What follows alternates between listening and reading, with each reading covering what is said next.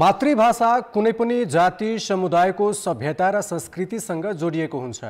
भाषा संरक्षण र समुदायको उत्थानका लागि बागमती प्रदेशसभाले नेपाल भाषा र तामाङ भाषालाई समेत सरकारी कामकाजको मान्यता दिने गरी विधेयक पारित गरेको छ। भाषा आयोगले गरेको सिफारिसका आधारमा प्रदेशसभाले दुवै भाषालाई कामकाजीको मान्यता दिएसँगै नेवार र तामाङ समुदायमा उत्साह छाएको छ। बागमती प्रदेशमा करिब साठी लाख चालिस हजार जनसङ्ख्या छ।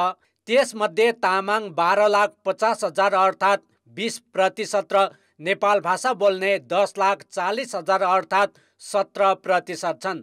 तर मातृभाषा बोल्नेको सङ्ख्या घट्दै गएको छ।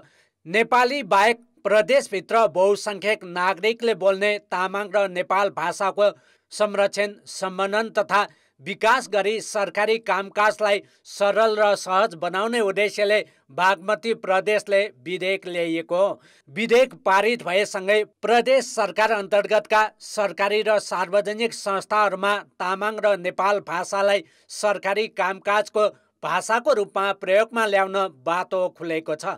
प्रदेशका स्थानीय तहले पनि नेपाली बाहेक यी दुई भाषालाई सरकारी कामकाजमा प्रयोगमा ल्याउन सक्नेछन्।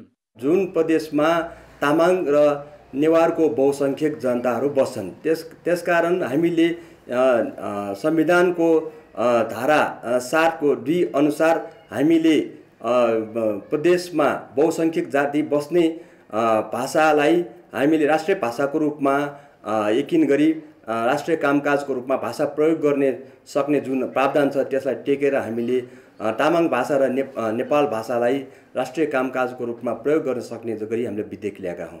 यसबाहेक प्रदेशभित्रका शैक्षिक संस्थामा तामाङ र नेपाल भाषा अध्ययन अध्यापनको व्यवस्था समेत गर्न सकिनेछ।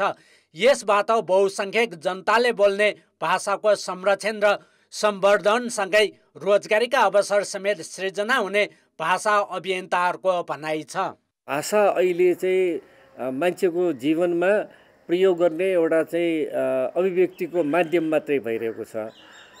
भोलि प्रशासनमा शिक्षामा कानुनमा वा विभिन्न सरकारी निकायमा यो चाहिँ मतलब आधिकारिक भाषाको रूपमा चाहिँ यसको भएपछि यो भाषाका वक्ताहरूको लागि एउटा रोजगारीको पनि एउटा अवसर यसले चाहिँ सृजना गर्छ। त्यो दृष्टिकोणले पनि यो निर्णय धेरै महत्त्वपूर्ण छ। भाषा आयोगका अनुसार नेपालमा बोलिने भाषाहरू एक सय एकतिसवटा छन्। तीमध्ये धेरै भाषा व्यावहारिक प्रयोगमा नआउँदा लोप हुने अवस्थामा पुगेका छन्। भाषा संरक्षणका लागि भाषा आयोगले दुई वर्ष अघि सातै प्रदेशमा बहुसङ्ख्यक जनताले बोल्ने दुई दुईवटा भाषालाई सरकारी कामकाजको भाषाको रूपमा सिफारिस गरेको थियो। बागमतीले जस्तै अरू प्रदेश र स्थानीय तहले पनि कानुन निर्माण गरी कार्यान्वयनमा ल्याउनु पर्नेमा विज्ञहरूको जोड छ।